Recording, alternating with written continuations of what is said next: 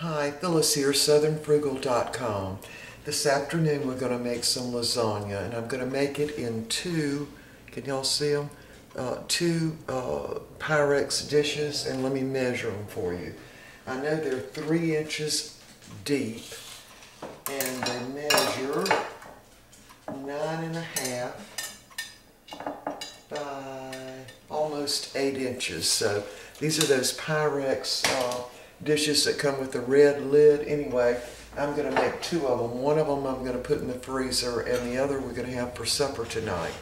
So I've already got my lasagna cooked, my noodles, and I've already cooked two cups of multicolored peppers, cut up in little squares, and one cup of onions. So I sauteed those in uh, olive oil. And I've already cooked my hamburger. Actually, it's ground sirloin, 90% lean. And I think this was a pound and a half, if I recall. That's what I think it was. Anyway, to that, I'm going to add about three-fourths of the jar of this uh, spaghetti sauce, and this is 24 ounces. All right, so I'm going to use about three-fourths of that. Maybe not quite three-fourths. Yeah, about two-thirds, excuse me. We're just going to mix that hamburger up in there. And this is going to be one of our layers in the lasagna. And this is probably going to be the middle layer. I'm going to go ahead and put my peppers and onions in this one also. A whole bunch of peppers and onions. A lot more uh, vegetables than meat is kind of my aim. And, and this is all done too, by the way. So that's something to remember when we start cooking this in the oven. All right, and I will be cooking this at 325 degrees, probably 30 to 45 minutes, just till the cheese gets melted and it gets bubbly. All right, so we're gonna make our cheese layers. Now I've got one large egg, and actually it was a jumbo egg because Mr. Bucky went to the store for me and he said the only ones that had a really good date were jumbo eggs. So this is a jumbo. I'm just going to beat that up. Now I'm going to go ahead and add my spices to the egg. So I'm going to use some parsley flakes. Probably about a tablespoon or so. I can get it out. Start like that maybe a little more than a tablespoon. And that's dried parsley. And I'm going to also put in some onion powder. Again, maybe a couple of teaspoons. And also some garlic powder, about two teaspoons of that also.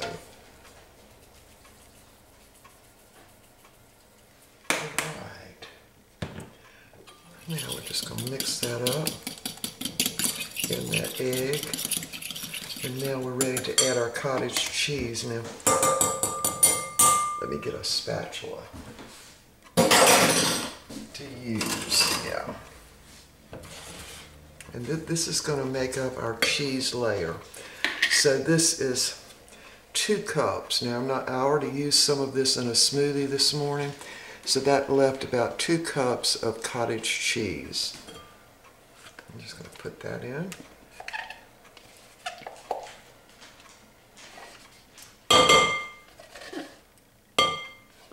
Mix that in well with the eggs. Now we're going to end up, uh, I'm going to want four layers. Oh, really, that, that just really means two layers in each pan that I'm fixing.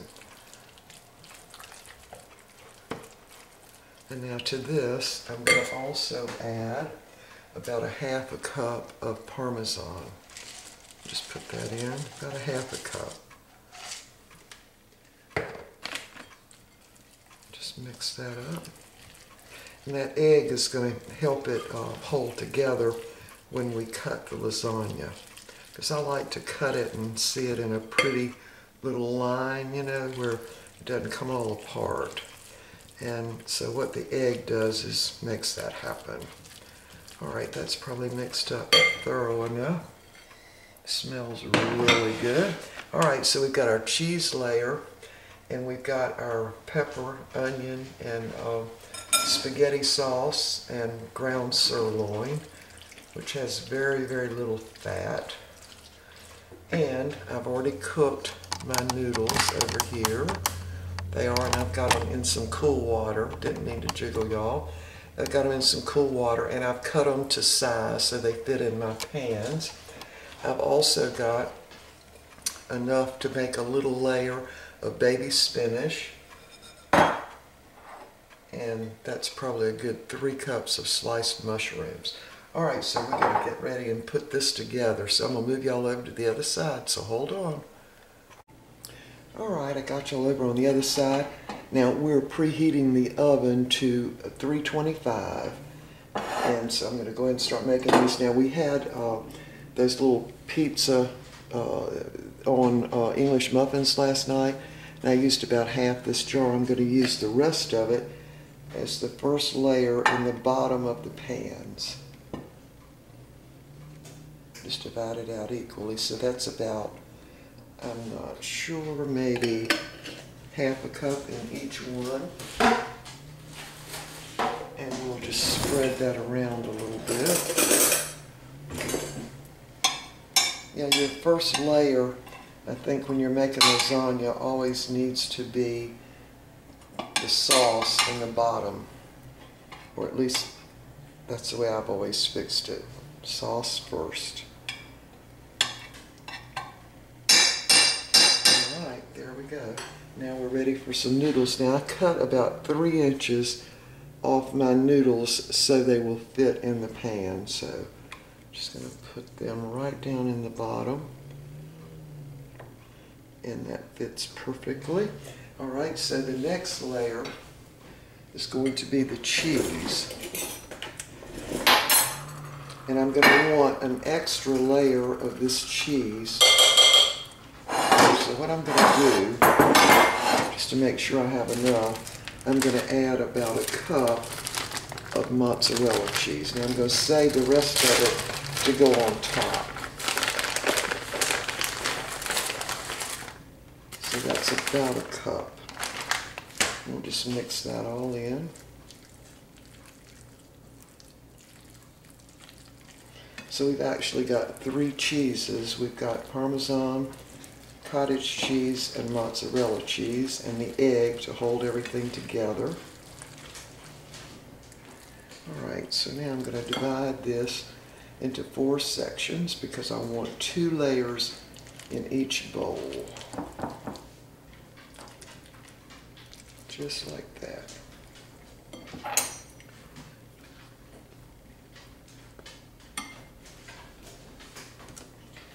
Now I'm just going to dip it out right in there.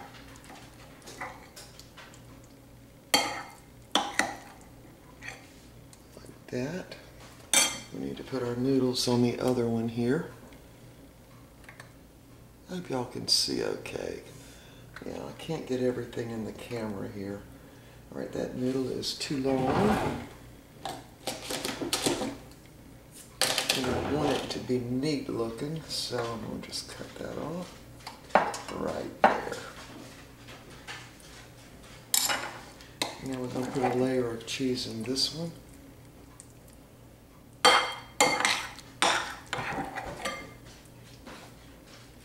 And then just spread that out as best you can.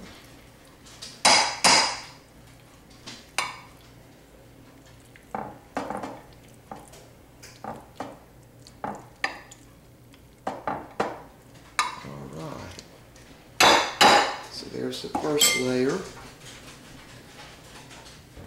And next we're going to put another layer of the noodles on.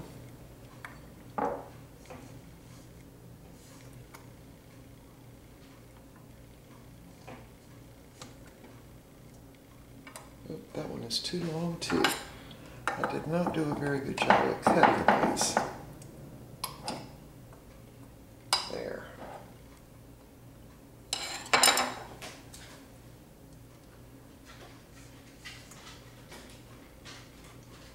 Okay, I just didn't cut them right at all.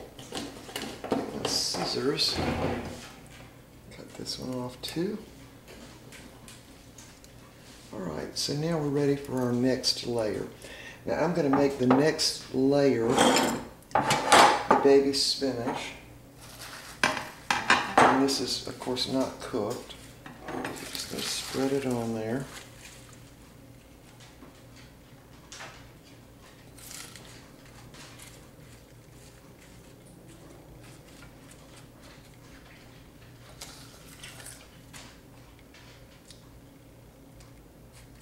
All right, that looks like that'll work. All right. And so next, we're going to add some of the mushrooms. Now these mushrooms, of course, are not cooked, so they're going to uh, have some water in them. So that's why everything is more dry.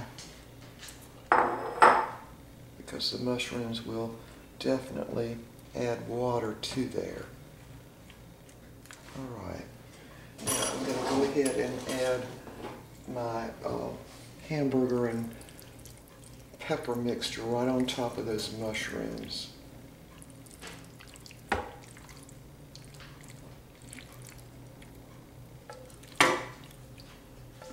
Now this is going to be a very hearty lasagna, I would think.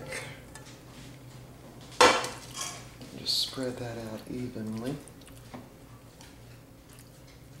Now again, it probably seems dry to you, but not to worry about that because those mushrooms are going to release their moisture and so is the spinach. It will definitely become more watery. And it doesn't take long, of course, for the mushrooms to cook or for the spinach to cook for that matter. So we're talking 30 minutes, 45 minutes at the most in the oven at 325 degrees. All right, that ought to do it. Now we're going to add the rest of the uh, spaghetti sauce right on top of this. Not the rest of it, but a little bit of it. Spread that out. Yeah, I used to have a big lasagna Pyrex pan, you know, when the kids were all here and all, and I fixed a great big pan of it. And now we don't ever eat that much, so I actually sold my lasagna pan at a garage sale. All right, so now we're ready for the next layers, and I hope these are cut right. They're not.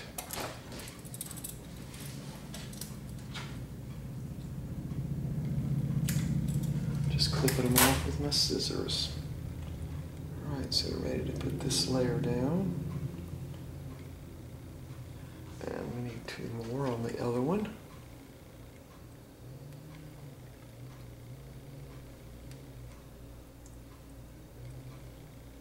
That one too.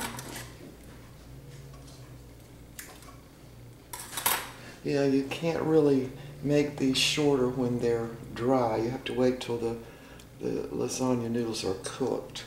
All right, so now we're ready for our final layer of the cheese mixture. So I'm just going to put that right on top.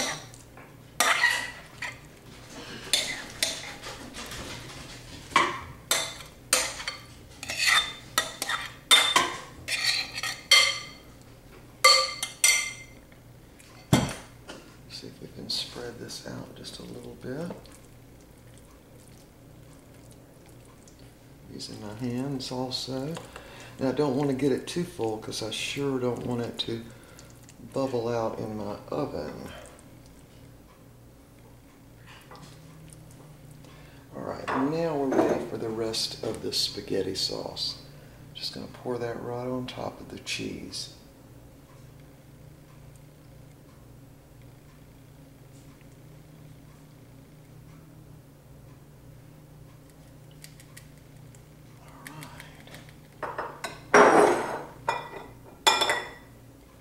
Spread that out a little bit.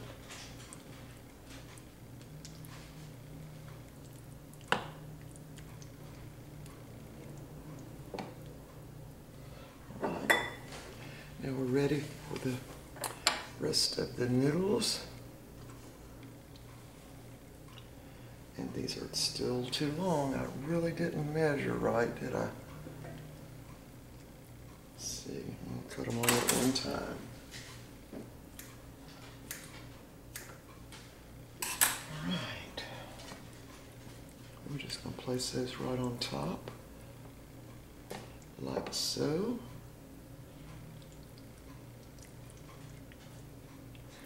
Now we're ready for our final layer. Just mashing that down of cheese. So I'm going to use the mozzarella cheese first. And you want to really try to get all of that pasta covered so that you don't have any hard edges.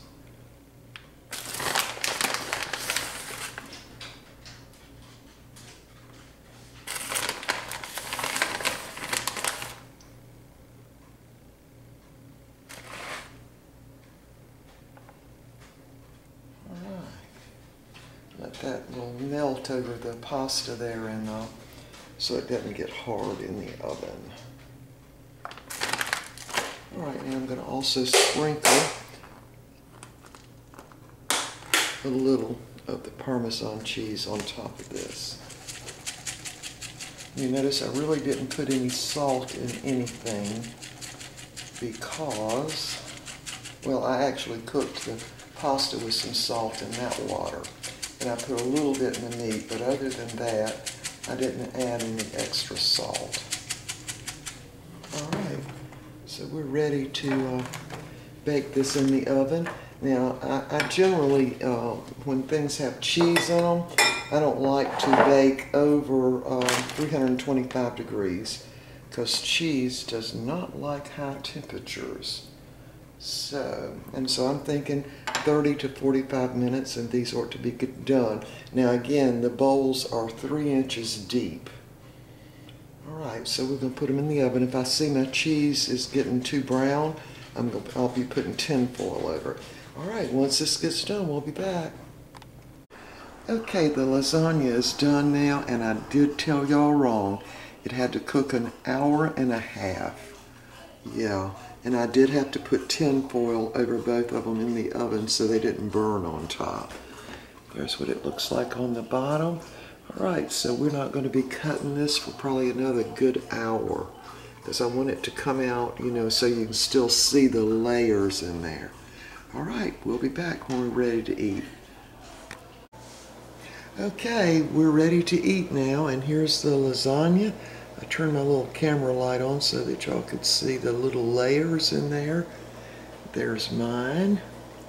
And we're having the uh, pecan rolls with them and green beans and iced tea.